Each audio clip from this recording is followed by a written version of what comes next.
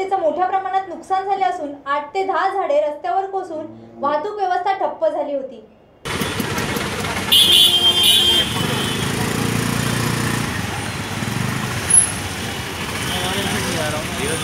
डोंबिवली शहरातील मिलापनगर येथील तलाव रोडवर झाड कोसळून नॅनो कार पूर्णपणे दबली गेली.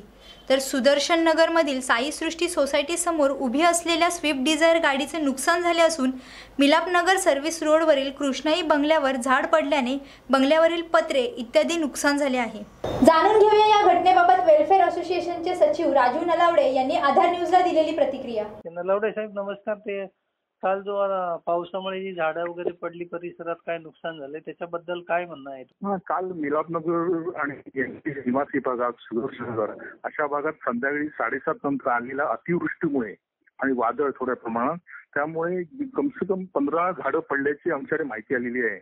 आणि त्यामुळे मालमत्ता नुकसान झाली आहे म्हणजे एक नॅनो कार एक स्विफ्ट डिझायर कार आणि काही बंग दोन बंगल्यांच्या वरती झाडं पडल्यामुळे त्यांची नुकसान झाली आहे.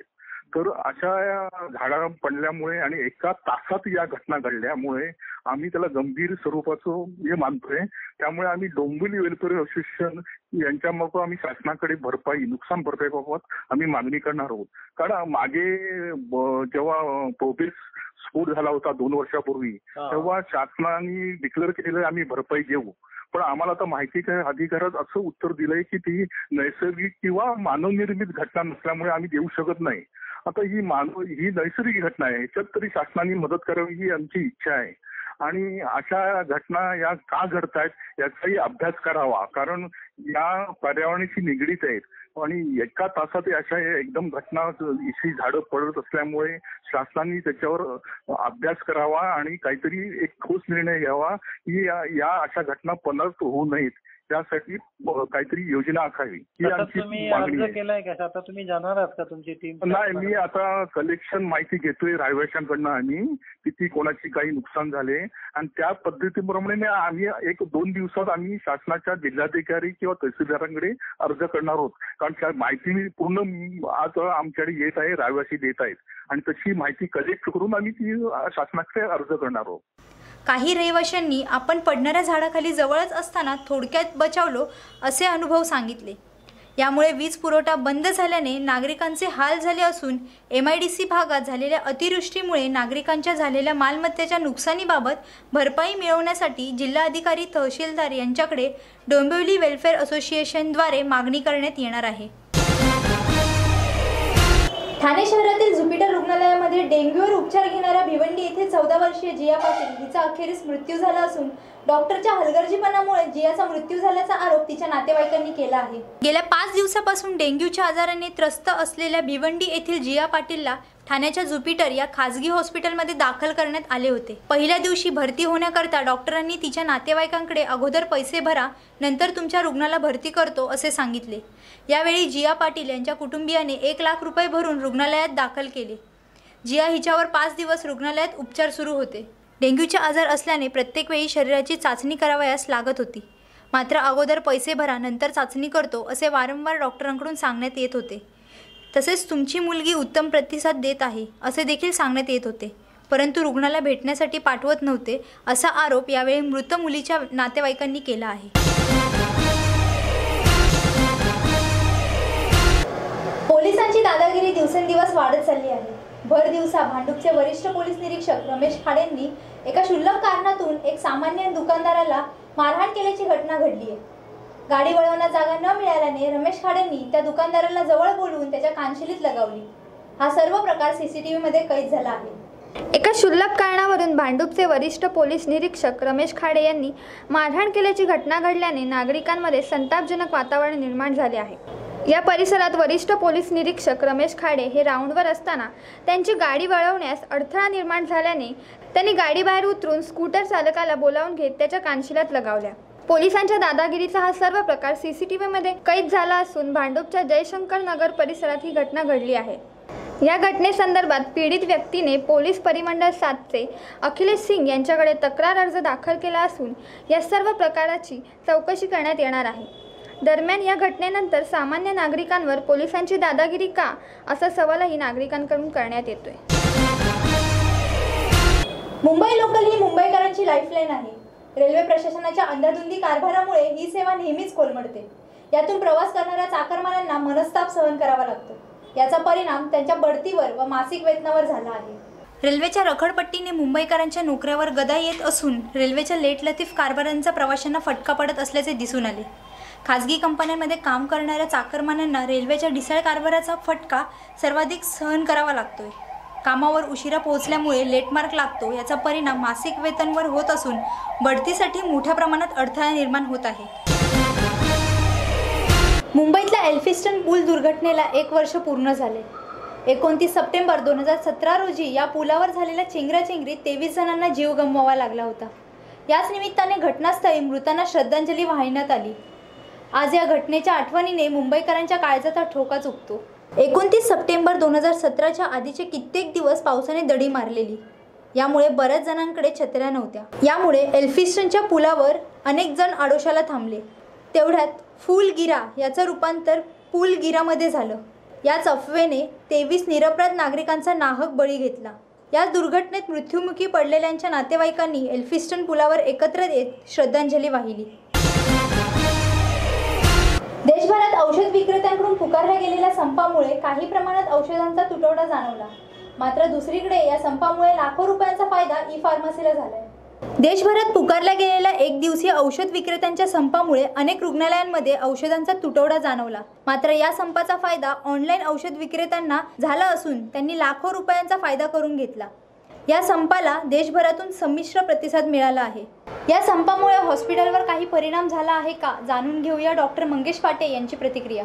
डॉक्टर पाटील नमस्कार. तर काल जो संप देशव्यापी संप होता औषध विक्रेत्यांचा त्याच्यामुळे तुम्हाला काही त्रास जाणवला का? तुमच्या रुग्णांना काही कुठे त्रास जाणवला का औषधांचा तुटवडा नाही पेशंट्सला थोडे औषधांची चणचण भासली कारण त्यांना पेशंट्सला औषधं आता आले की त्या लगेच विकत घ्यायला लागतात ना आजार असतात त्याच्यामुळे. तर काही मेडिसिन्स आता पूर्णपणे आपण प्रोव्हाइड करू शकत नाही त्यांना. तरी आमच्या सर्व डॉक्टर्सने हॉस्पिटल्सने ऑल ओव्हर प्रयत्न केला. पेशंट्सचे आणि जनतेचे हाल होऊ नये म्हणून. तरच त्या काही प्रमाणात मध्ये लोकांना त्या- त्याचं म्हणजे हे झालं त्रास झाला.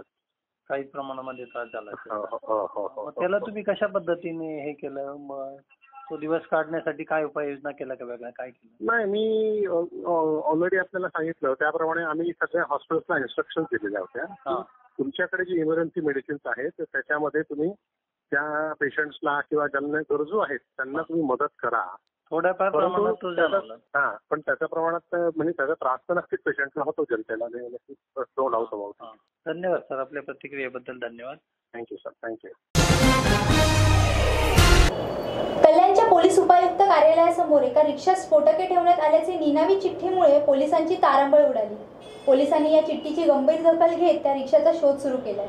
कल्याणच्या पोलीस उपायुक्त कार्यालयासमोर एका रिक्षात स्फोटके ठेवण्यात आल्याचे निनावी चिठ्ठीमुळे शुक्रवारी पोलिसांची तारांबळ उडाली. पोलिसांनी या चिठ्ठीची गंभीर दखल घेत त्या रिक्षाचा शोध सुरू केलाय. तात्काळ बॉम्ब शोधक पथकाला पाचारण करण्यात आले. त्यानंतर पोलीस उपायुक्त कार्यालयाच्या आवारात एका रिक्षात चार डिटोनेटर व दोन जिलेटिनच्या कांड्या सापडल्या. पोलीस उपायुक्त कार्यालयासह तीन महत्त्वाची शासकीय कार्यालये असलेल्या इमारतीच्या आवारात स्फोटके सापडल्यामुळे एकच खळबळ उडाली. पोलिसांच्या माहितीनुसार अंबरनाथ तालुक्यातील वसात गावात राहणाऱ्या तीन शेतकरी महिला जमिनीच्या वादप्रकरणी प्रांत कार्यालयात आल्या होत्या.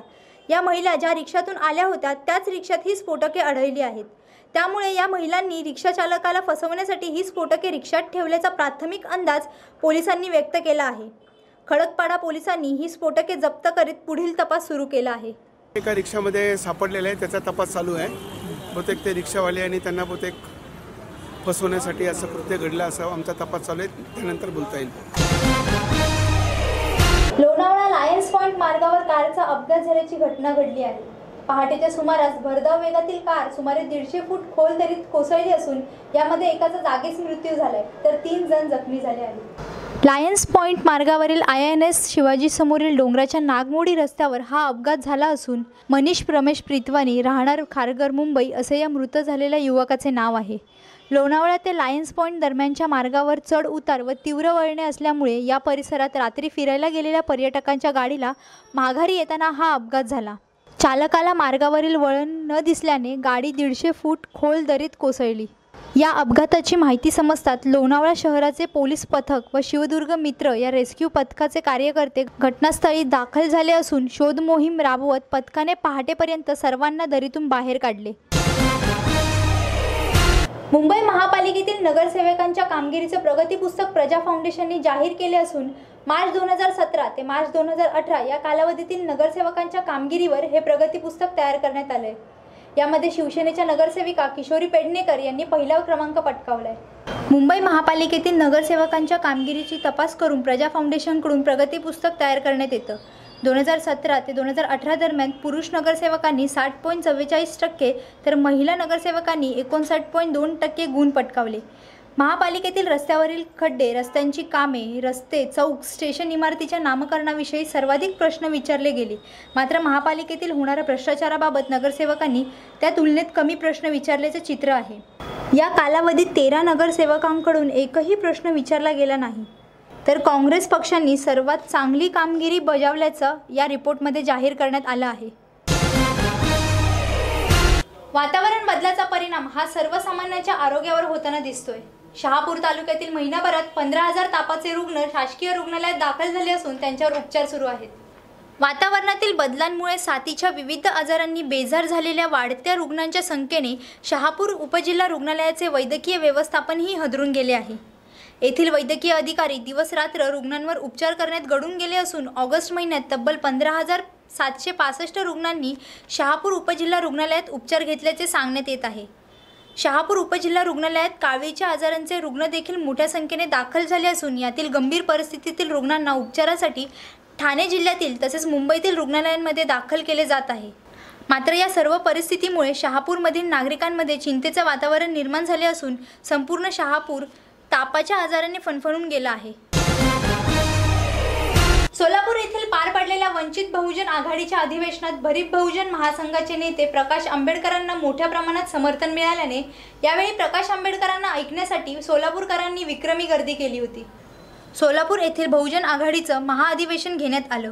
यासाठी या अधिवेशनाला असंख्य जनसमुदाय आला. हे अधिवेशन बहुजन समाजाच्या ऐक्याचं प्रतीक मानलं जातं.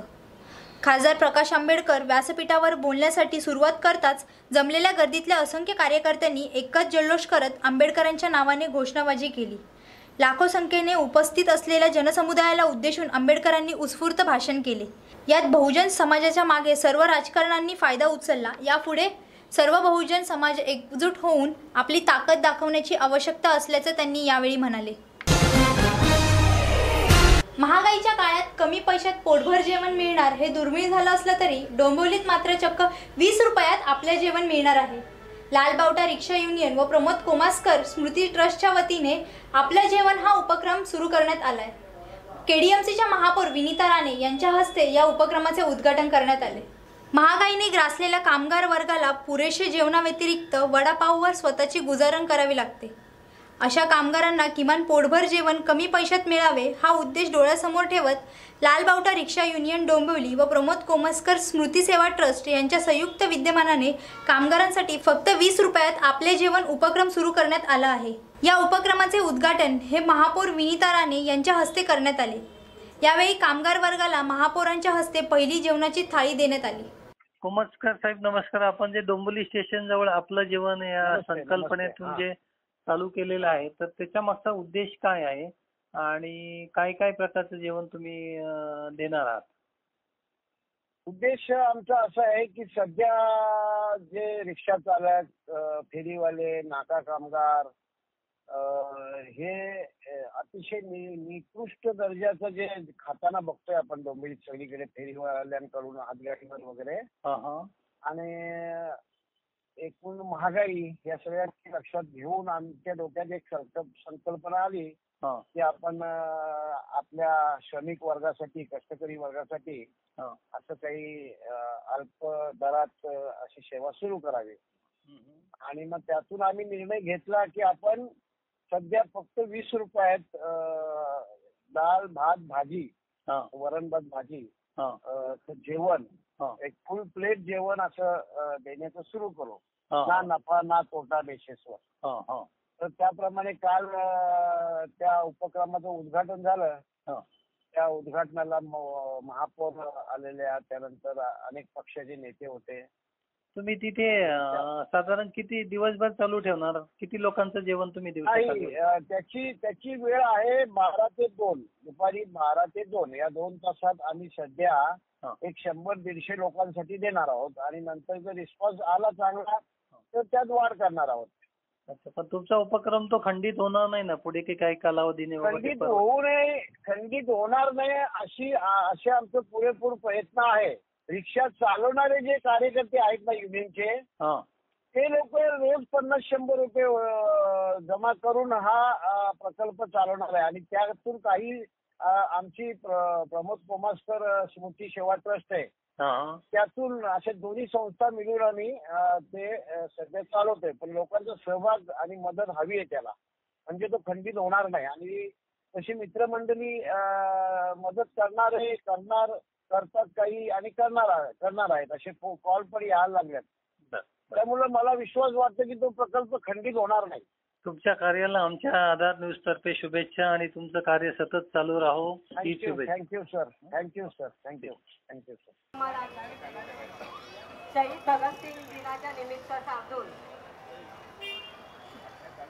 प्रमोद सेवा यांच्या या लालबावटा रिक्षा युनियनच्या वतीने आपले जेवण हा जो उपक्रम त्यांनी चांगल्या प्रकारे राबलेला राबलेला आहे आणि त्या उपक्रमाला सगळ्यांची भरपूर मेहनत पण आहे भरपूर प्रतिसाद मिळालेला आहे आणि ह्या आपल्या जेवणामध्ये कधी पक्ष नसतो.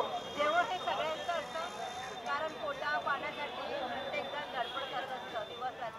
आणि या दादा धकाधकीच्या जीवनामध्ये माणसाला वेळ मिळणं कठीण असतं. जो जो आपल्या धंद्याचा वेळ मिळून पोटा पाण्यासाठी जसा वेळ मिळेल त्याप्रमाणे ते पर्यंत आजपर्यंत वडापाव पण राहत होते. पण ह्या डोंबोलीच्या सर्व लालबागच्या युनियनवाल्यांनी हा जो उपक्रम लावला आहे आपलं जेवण खरंच एक चांगला उपक्रम आहे. आणि त्यासाठी भरपूर त्यांना वेळ आणि सगळ्यांच्या सहकारच्या वतीने हे उपक्रम चांगला राबेल याच्यात काही शंकाच नाही आहे सगळ्यांना मी पुढच्या वाटण्यासाठी शुभेच्छा देते. जय हिंद जय महाराष्ट्र शहीद कॉम्रेड भगतसिंगजी यांच्या जन्मतिथीवर जयंतीवर या तमाम महापुरुषांचा विचार संपूर्ण भारतभर उजवणारे बापसेब येसपूर आणि पार्टीचे संस्थापक. मान्यवर कांशीरामजी. या ठिकाणी काळू कोमस्कर साहेब महेश बनसोडे साहेब आणि त्यांच्यासोबत असणारे सर्व सहकारी ज्यांनी आजचा दिवस अतिशय चांगला दिवस केला आहे. ज्यांनी आपलं जीवन देशासाठी अर्पण केलेलं आहे. ते शहीद कॉम्रेड भगतसिंग साहेब. त्यांच्या जयंतीनिमित्त या देशातल्या गोरगरिबांना कष्टकऱ्यांना मुबलक दरामध्ये पोटभर अन्न मिळावं. आज या देशामध्ये स्थिती फार भयंकर आहे. या देशातील अर्धीवर लोकसंख्या असणारी जी आहे आज आपल्या मुंबई शहराच्या जवळ असणारी वाडा मोकाडा जव्हार आदिवासी भाग खेडेगावाचा भाग हा सुद्धा अर्धपोटी खात असतो. या गोष्टीचा आम्हाला खेद आणि खंत आहे. आणि खेडेपाडा गावात आपली मोठ्याची कळगी भरायला या शहराचं शेपूट धरायला या ठिकाणी आलेले कष्टकरी त्यांच्या सोयीसाठी हा उपक्रम राबवलेला आहे आणि मला वाटतं डोंबिवलीमध्ये हा पहिल्यांदाच असा उपक्रम हो राबवत आहे. आणि म्हणूनच काळू कोमस्कर आणि त्यांचे सहकारी या हे सगळेजण अतिशय स्तुतीला पात्र आहे. आणि इथे कुठला पक्ष वगैरे न असता एक मानवतावादी कार्य करणार आहे. आता ते गिरणी कामगार तेवढे नाहीत परंतु गिरणी कामगार बाहेर न येत होते आणि त्यांच्या जेवणाची समस्या होती. गाळ्यामध्ये दहा दहा गिरणी कामगार राहत होते. आणि त्यामुळे गिरणी कामगारांच्या महिलांनी आणि प्रेमापुरव क्रांती जगताप या सगळ्यांनी महिलांनी मिळून त्या ठिकाणी अन्नपूर्णा नावाची ही स- संस्था चा- चालू केली आणि त्यांना जेवण देण्याची सर्व व्यवस्था त्या- ठिकाणी केली. आणि अन्नपूर्णा प्रेमापूर्व तुमचं तुम्ही नाव ऐकलं असेल ती मोठी संस्था झालेली आहे. आणि त्या त्यांचं जे काम होतं ते गिरण्या गिरणी कामगारांना कमी याच्यामध्ये जेवण मिळावं याच्यासाठीच त्यांनी त्या ठिकाणी काम केलं. आणि तेच उद्दिष्ट या ठिकाणी काळू कोमस्कर यांनी ठेवलेलं आहे. जो कोणी रिक्षा काम चालक आहे तो कष्ट करतो त्याला खर्च येतो मेहनत करतो आजच्या महागाईच्या जमान्यामध्ये त्या ठिकाणी डिझेल रॉकेल गॅस सिलेंडर असो या सगळ्यांची दर वाढलेले आहेत सीएनजीचे सुद्धा दर वाढलेले आहेत. आणि त्यामुळे कधी काही पाठ बिघडला तरी त्याला रिपेअर करणं हे सुद्धा आव्हाच्या बाहेर जातं. आणि त्यामुळे एक रिक्षा जो मेहनत करतो त्याची एक गरज आहे जेवण चांगलं असलं पाहिजे तरच ते मेहनत करणं शक्य आहे. आणि त्याच्यासाठी हा उपक्रम आहे केवळ वीस रुपयात जेवण देणं हा अत्यंत चांगला उपक्रम आहे. तर या होत्या आजच्या ठळक घडामोडी अधिक बातम्यांसाठी पाहत रहा आधार न्यूज तसेच अधिक माहितीसाठी W W W dot Aadhaar news dot in या संकेतस्थळी अवश्य भेट द्या.